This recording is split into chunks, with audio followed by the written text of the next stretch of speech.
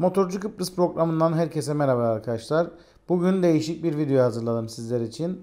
Şu anda görmüş olduğunuz Rizoma'nın Retro Cafe Racer tarzı handlebar yani gidonunu takacağız motorumuza. Motor 2023 Triumph Speed Twin 1200. Normalde gidonumdan çok memnundum ama Londra'da gezerken bir tane Triumph'ın üzerinde buna benzer bir gidon görmüştüm. Ve dedim neden olmasın. Tabii ki e, motorun konforundan biraz ödün veriyorsunuz ama motora daha fazla yattığınız için sürerken rüzgardan daha az etkileniyorsunuz ve görüntü olarak da daha spor bir görüntü oluşuyor. Bu gidonu takarken arkadaşım Ozan bana yardımcı olacak. Tabii işi önce mevcut her şeyi gidonun üzerinden çıkartmakla başlıyoruz.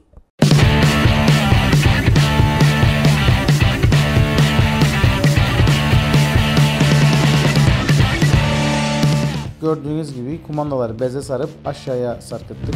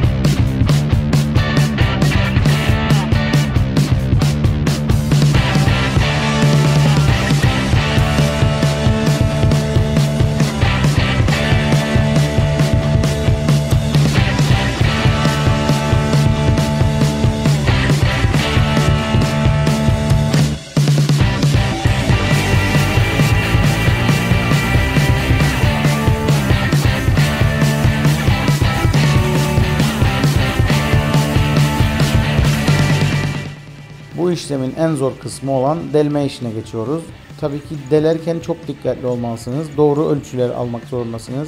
Eğer yanlış ölçü alırsanız birden fazla delik delmeniz gerekebilir ve bu bazen e, görüntüye eğer kumandaların altında kalmazsa delikler yani yanlış yere delerseniz dışarıdan çok çirkin bir görüntü oluşur.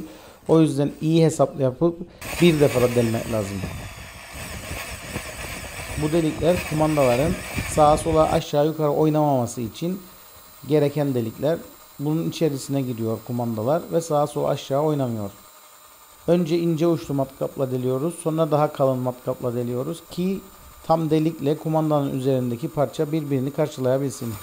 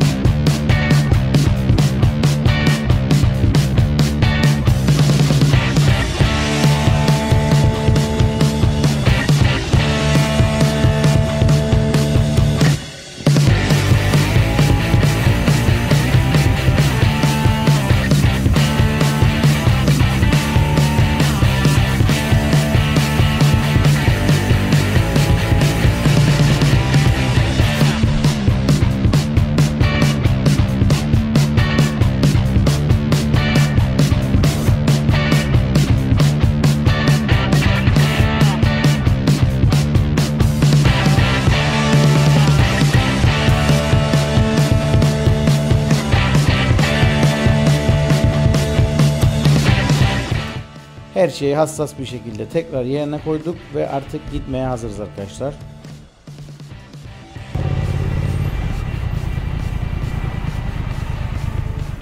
Gördüğünüz gibi motor aralardan geçebiliyor. Çok da geniş değil. Sürüş açısından bayağı öne yatmam gerekti.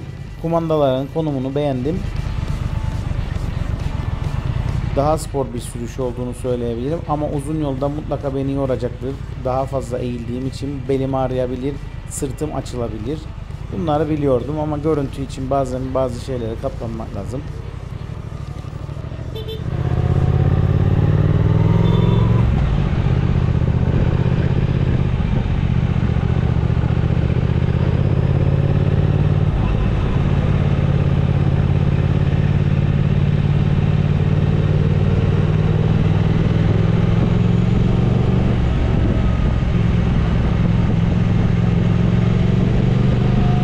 Beni izlediğiniz için çok teşekkür ederim.